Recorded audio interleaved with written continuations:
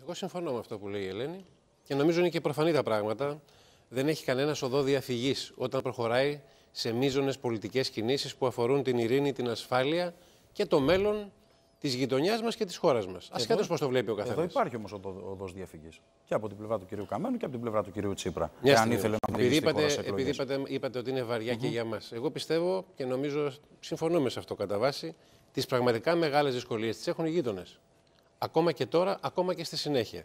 Ακόμα και με την καλή εκδοχή του δημοψηφίσματος. Διότι, να πω για όσους μας βλέπουν, νομίζω ότι καθ' υπερβολήν φαίνεται η εξωτερική πίεση προς τα Σκόπια σε σχέση με το να συνεχίσουν αυτό το δρομολόγιο συνεννόησης, συμβιβασμού και κατάληξης της συμφωνίας. Αν αυτό δεν προχωρήσει πραγματικά, γιατί πράγματι το πρώτο στοιχείο είναι το δημοψήφισμα. Και το δημοψήφισμα, να θυμίσω, θα είναι και ερμηνευόμενο αν είναι οριακό. Ναι. Και εκεί επάνω μπορεί να προκύψουν διάφορα πολιτικά ζητήματα και για τον κύριο Ζάεφ. Υπάρχει μια και πιθανότητα γενικότερα. ε, να χρειάζεται Παρότι ο είναι Ζάεφ να πάει σε αποφασισμένος και ο εκλογές. κύριος Κάνει Ζάεφ. και με την προσέλευση. ε, Ακριβώς. Είναι θέμα προσέλευσης και ερμηνείας μετά. Πώς ήταν οι πραγματικοί εγγεγραμμένοι. Έχουν αρχίσει Ναι, ναι. αυτές οι συζητήσεις Ναι. στη γειτονική χώρα. Παρ' όλα αυτά, εγώ θέλω να πιστεύω ως πολίτης και επειδή πάντα είχα την άποψη ότι έπρεπε να βρεθεί μία φόρμουλα συμβιβασμού και συμβίωσης και από παλιά και ως αριστερός, νομιζω ότι θα προχωρήσει η ιστορία του δημοψηφίσματος. Θα είναι μεγάλος ευνηδιασμός αν πάει ανατρεπτικά, γιατί τότε θα χαλάσουν πάρα πολλά πράγματα. Είναι προφανές. Άρα οι πραγματικά δύσκολες επόμενες κινήσεις είναι ακόμα στη γείτονα. Οι δικές Ναι. μας δύσκολες κινήσεις. Πάντως φαίνεται, να κάνουν, Δημήτρη, φαίνεται έχουν ότι να α- κάνουν αν το με πάρει τι το εννοεί ο δημοψήφισμα, καθένας. είναι εξαιρετικά δύσκολο, από ό,τι λένε όλοι οι αναλυτές που διαβάζω στο διεθνή τύπο, να πει όχι η Βουλή στην αναθεώρηση του συντάγματος. Ναι, αλλά Κατά προσέξτε, συνέπεια, εκεί ίσως τρέξουν διαδικασίες πιο χρειαστούν- γρήγορα. Ίσως εκεί χρειαστούν τις πρόορες εκλογές. Να σας πω γιατί. Γιατί αν είδατε η, η εθνικιστική αντιπολίτευση που με τον Γκρούευσκι επί 10 χρόνια τα έκανε μήλος και γραφικότητες, ο Γκρούευσκι λοιπόν δεν είναι στην ηγεσία τώρα, είναι διοκόμενος. Και εκεί ίσως επειδή δεν θα έλεγα ότι είναι και υπόδειγμα ανεξαρτησίας των εξουσιών στη γείτονα, μπορεί να γίνονται και διάφορες συζητήσεις αυτή τη στιγμή. Πάντως ο Μιτσκόφσκι αναγκάστηκε, βλέποντας μια σειρά κινήσεις διεθνείς και εσωτερικές, να πάρει τοποθέτηση περί ψήφου κατά συνείδηση. Αυτό έχει δύο αναγνώσεις. Μία ανάγνωση να μην χρεωθεί την ενδεχόμενη ήττα ως εθνικιστική αντιπολίτευση στο δημοψήφισμα και μια δεύτερη, αν πετύχει η ιστορία της αποχής ή η συμμετοχή ανάλογα όπως το διαβάζει ο μυστήριος καθένας νικητής. και είναι οριακή έστω η ανάγνωση, να μπορεί να ζητήσει πρόορε εκλογές. Γιατί μετά θα είναι δύσκολο για το ΖΑΕΦ στη σημερινή Βουλή με τους αριθμούς που Να έχει. περάσει αυτό που θέλει Παρότι και στο εκεί υπάρχει ένα, Και στο στο πούμε, θέμα. θέμα μεταγραφών. Θα το δούμε. θα Έχει το δούμε. μεταγραφές, έχει Εκεί είναι η διάφορα πραγματική ζητήματα. κινητικότητα. Να τη δούμε. Λέω λοιπόν, η, η πιο ε, ήρεμη ανάγνωση θα είναι την Κυριακή να υπάρξει αξιοπρεπή συμμετοχή, 50% συν 1, όπως και να το διαβάσει κανένας. Ναι. Να υπάρξει το ναι για να προχωρήσουμε στο επόμενο βήμα που θα είναι η ιστορία στη Βουλή. Θα φτάσει στη Βουλή των Σκοπίων σε τρεις μήνες, σε τέσσερις μήνες, κάπου εκεί το υπολογίζουν για να γίνουν και οι ανάλογες διεργασίες προετοιμασίας που θέλει τα δύο τρίτα. Αυτή τη στιγμή τα δύο τρίτα δεν υπάρχουν στη Βουλή της γειτονικής χώρας. Ναι. Ναι, πληροφορίες Πάμε βέβαια σε ότι εμάς μπορεί να τα τώρα. βρει. Το- Και το- μετά ναι, έρχεται ναι, εδώ Μπορεί σε να εμάς. συμβεί. Πάμε σε εμάς Μετά τώρα. έρχεται σε εμάς. Σε εμάς είναι γνωστή η δυσκολία και η δυστοκία με τον κύριο Καμένο. Και όχι μόνο για το θέμα των Σκοπίων, για να είμαι εγώ πλήρης και αναλυτικός. Λέω λοιπόν, ο κύριος Καμένος για λόγους ταυτότητας δεν μπορούσε να πάει πίσω από αυτό το θέμα. Ναι. Αλλά για λόγους, θα έλεγα, και πολιτικής αρμονίας της κυβέρνησης θα πρέπει να προσέχει μια σειρά τοποθετήσεις και κινήσεις που έχει κάνει το τελευταίο διάστημα. Κατά τη γνώμη μου, υπερέβαλε. Και υπερέβαλε γιατί νομίζει ότι μέσα από αυτή την επιμονή στην πάγια του θέση και ταυτοτική θέση θα μπορέσει να κρατήσει δυνάμεις. Κατά τη γνώμη μου, χάνει δυνάμεις από πολλούς λόγους, αλλά αυτό είναι άλλη συζήτηση. Ναι. Θα τη συνεχίσουμε. Σε αυτή τη φάση, για να πω για τον Πρωθυπουργό, σωστά το είπε η συνάδελφος και νομίζω ότι ο κύριος Τσίπρα σε μια σειρά ζητήματα, όχι σε όλα, Ειδικά όμως σε τέτοια ζητήματα που άπτονται με τη συνέχεια της χώρας μας και των ευρύτερων συνθήκων της περιοχής, είναι αποφασισμένος να παίξει αυτό που λέμε σταθεροποιητικό ρόλο και ασχέτως αν μεθαύριο θα είναι πάλι κυβέρνηση. Για να εννοηθούμε. Διότι οι κυβερνήσεις έρχονται και παρέρχονται. Αν βγαίνουν τα νούμερα, Αλλά τα βέβαια, βασικά έτσι, αν βγαίνουν ζητήματα. τα νούμερα στη Βουλή. Αν δεν Ακούστε βγαίνουν, με δεν μπορεί να λίγο. τον παίξει αυτό επειδή ρόλο. πέφτει πολύ δημαγωγία και σε αυτό, ενώ Ναι. πρώτα από τους βουλευτές τους ίδιους και βλέπω και το κυνηγητό που παίζεται αυτές τις ημέρες, το θεωρώ χαμηλού επίπεδου για να είμαστε συνεννοημένοι, γιατί πιστεύω ότι ο κάθε βουλευτής, παρότι όλοι οι βουλευτές αυτής της Βουλής, να θυμίσουμε στους συμπολίτες μας. Ποιο κυνηγητό εννοείς, Δημήτρη; θα, θα σου πω Ναι. τώρα.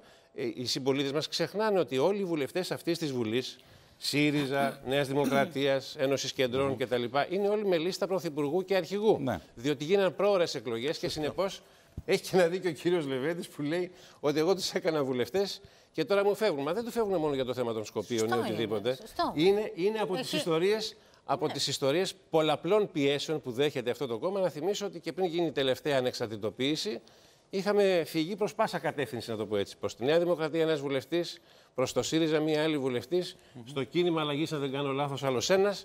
Και τούτος εδώ, από ό,τι λένε διάφοροι, θα έλεγα ότι το σημάδι, ας το πούμε, ότι το ανακοίνωσε το Βεργίνα TV, τέλος πάντων κάτι ίσως συμβολίζει. Θα δούμε. Για να μην το πω παραπάνω. το λέω έτσι για Τι να, να το πω, συμβολίζει, να το πω δηλαδή. ευχάριστα.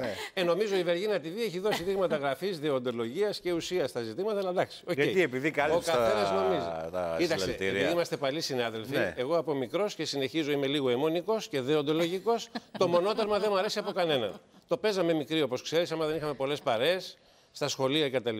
Έτσι, ή στη μονή, μπασκέτα. Μεγάλο πρόβλημα για τις δημοκρατίες το μονότερμα, ιδιαίτερα από τους αιμονικούς του μονοτέρματος. Ναι. Είτε είναι στις κυβερνήσεις είτε στις αντιπολιτεύσεις. Και Αλλά συνεπώς, α- αυτό βέβαια την είναι άλλη, η βέβαια, η όσοι πεμπτουσία λαμπρών. της δημοκρατίας. Όποιος θέλει να είναι μονότερμα είναι μονότερμα, είναι κάποιος όχι, άλλος η ουσία της μονότερμα. δημοκρατίας δημοκρατίας ακούσαμε κι είναι- άλλο, και ακούσαμε είναι- ότι είναι- μπορεί- είναι με τους ίδιους όρους. Να μπορεί να ανέχεται με τους τις πάντες. ίδιες προϋποθέσεις. Ναι. Γι' αυτό είναι η σημασία της πολυφωνίας, όχι μόνο πολυφωνία, αλλά και η σιγορία. Τα λέει και το Σύνταγμα, τα λένε και οι ρυθμίσεις για να Ε, επανέλθουμε τότε και στα Δημήτρη, δικά πώς μας. εξηγείται; Ακούσαμε ότι ό- όσοι πήγαν στο ΣΥΡΙΖΑ μια χαρά στην κανονικότητα. μια χαρά. Ναι, Ποια όσοι μια πήγαν χαρά. στο ΣΥΡΙΖΑ, οι βουλευτές Ποιος από το την είπε Ένωση αυτό; Κεντρών. και Πολλά Θες να στελέχη σου το πω ένα είπαν. παράδειγμα τώρα. Και για όσοι να- πήγαν κάπου αλλού, Για να μην κακώ πήγαν. μπερδευόμαστε. Να σου πω ένα παράδειγμα. Εγώ θεωρώ και ως πολίτης και ως δημοσιογράφος ότι κινήσεις. Λέω ένα παράδειγμα και όπως με την κυρία Παπακώστα δεν δίνουν τίποτα στην κυβέρνηση. Αυτή είναι η γνώμη μου. Αυτό δεν σημαίνει τίποτα. Δεν είμαι εγώ πρωθυπουργός. Ωραία Άλλος μέρα είναι ο θα πρωθυπουργό και άλλο σχεδιάζει μια Ωραία σειρά μέρα θα κινήσεις. περάσεις. το, θέμα, το θέμα είναι άλλο. Το θέμα είναι άλλο. Ε, είναι άστιμη. Ναι, δεν είναι είναι άλλο το πρωθυπουργός, επίπεδο είμαι της κυβέρνησης, Ναι. είναι άλλο το επίπεδο της Βουλής, είναι άλλο επίπεδο της δικιάς μας συζήτησης και της δημοσιογραφίας. Να συνεννοούμαστε. Και όλοι κρινόμαστε από αυτά που γράφουμε, που λέμε και, αυτά που κυρίως λέμε, άλλο το επίπεδο του κόμματος, έτσι. Απολύτως. Λέω λοιπόν τώρα, για να συνεννοηθούμε γιατί να τελειώσουμε τον κύριο Καμένο. Ο κύριος Καμένος, το τελευταίο μεγάλο ατόπιμα που έκανε ήταν η τελευταία ιστορία της μήνυσης. Με τους δημο... το Άρα φιλελεύθερο. λέω, θέλω να πω, δεν είναι θέμα μονοσκοπίων κτλ. Ούτε πάω εγώ τώρα να πω αν βλέπει καλά τις αναλύσεις των δημοσκοπήσεων ο κύριος Καμένος, ο κύριος Τούμπος, ο κύριος Στάδε. Οι δημοσκοπήσεις έρχονται και παρέρχονται. Άρα- Το δομικό για τον κύριο Καμένο είναι ότι δεν φτάνει ούτε το ταυτοτικό να διασώσει μια πολιτική πορεία. Λέω εγώ. έτσι το Ελένη, για να καταλαβαίνω. ολοκληρώσουμε, δεν έχουμε άλλο χρόνο. Ε, το τέλος της πορείας του κυρίου Τσίπρα με τον κύριο Καμένο πλησιάζει. Θα είναι οι επόμενες εκλογές, ή υπάρχει περίπτωση να δούμε και κάτι μετά τις επόμενες Ε, εκλογές; νομίζω ότι μετά, με την καινούργια χρονιά, Με την δεν καινούργια το φέρει ο σεζόν, Άγιος ναι. Βασίλης. Ναι. Ε, θεωρώ, εν πάση περιπτώσει, ότι μέσα από το θέμα των Σκοπίων, αλλά όπως είπε και ο Δημήτρης, θεωρώ ότι υπάρχουν και μία σειρά από άλλα θέματα. Ε, το θέμα των Σκοπίων είναι αυτό το οποίο φαίνεται. Όμως, ε, κατά καιρούς έχουμε δει πάρα πολλά στελέχη του ΣΥΡΙΖΑ, αλλά και το ΣΥΡΙΖΑ ω- ως κόμμα, ως ε, δομή, ε, να διαφωνεί με θέσεις του κυρίου Καμένου. Ε, οι Στα 53, ζητήματα δικαιωμάτων ε, κλπ. ακριβώς σε θέματα Εντάξει, αυτό δικαιωμάτων, δεν τους έχει σε μια εμποδίσει σειρά πάντως από... να χαρά έχουν ψηφίστηκαν την όμως πιο τα ισχυρή νομοσχέδια. κοινοβουλευτική ομάδα στα Ναι, μνημονιακά ναι, χρόνια. μισό λεπτό. Ε, όταν ξεκίνησε παρόλα αυτά η, η συγκυβέρνηση, είπαν διαφωνούμε σε μία σειρά από θέματα, συμφωνούμε στο να βγει η χώρα από τα μνημόνια. Η χώρα βγήκε από τα μνημόνια. Άρα αυτή τη στιγμή επανέρχονται τα, χ- τα θέματα τα οποία διαφωνούνται. Εχμή είναι το μακεδονικό, είναι πολύ σοβαρό θέμα, αλλά από εκεί και ύστερα υπάρχουν και μία, άλλου, ε, και Μια μία σειρά σειρά θεμάτων. άλλα θέματα, επιμέρους θέματα, τα οποία είναι σημαντικά και τα οποία εγώ θεωρώ θα παίξουν ρόλο το Μάρτιο ε, ο κύριος Καμένος να ρίξει την κυβέρνηση, γιατί θέλει πολύ να τη ρίξει την κυβέρνηση, καταλαβαίνω εγώ πάρα πολύ.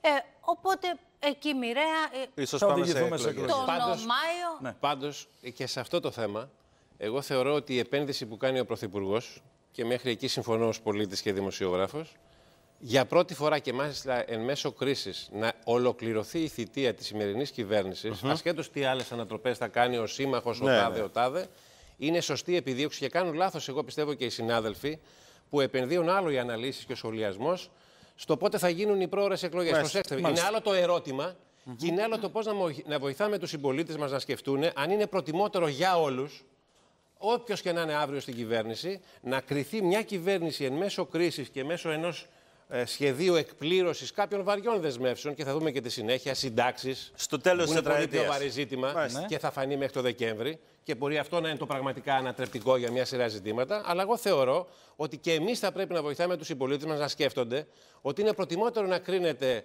ο κυβερνήτης Α, ο κυβερνήτης Β με πλήρη θητεία, γιατί δεν το έχουμε και ως παράδοση στη χώρα μας. Να θυμίσω. Αλήθεια είναι. Και Μόνο με τον Σιμίτης το έχει Καραμαλή να το και τα πληρώσει. λοιπά και τα λοιπά. Και ο Σαμαράς βιάστηκε για εκλογές, να μην, τα- μην τα ξεχάσουμε. Αλλά έχει σημασία να το θυμίζουμε στους πολίτες. Μετά, Ευχαριστούμε ο πολύ. Πρωθυπουργός επιλέγει πότε γίνονται οι εκλογές στην ουσία, ασχέτως με ποιο σχεδιασμό. Εγώ λέω όσο λέει στο τέλος θητείας είναι πιο σωστό για τους κρίνεται συμπολίτες εκεί. μας, για όλους μας και θα έχουμε και πληρότητα εξελίξεων σε πολλά. Επιτρέψτε μου μόνο, επειδή είπατε για τη σημερινή ημερομηνία, να προσθέσω κάτι και ως αριστερός αλλά και ως Έλληνας πατριώτης. Όχι όπως λέει ο Τραμπ, είμαι πατριώτης Ναι. Αμερικάνος. Ότι σήμερα είναι και η επέτειος της σύνδεση του ΕΑΜ. Του ΕΑΜ, Το έχουμε και θέμα στην πρώτη σελίδα της Αυγής. Όσοι μας βλέπουν να αγοράσουν μια Αυγή. Ευχαριστούμε πολύ. Να θυμηθούν διάφορα και να διαβάσουν Σύντομο διάφορα. διαφημιστικό Και εμείς διάλειμμα, ευχαριστούμε. επαναρχόμαστε. Καλή συνέχεια.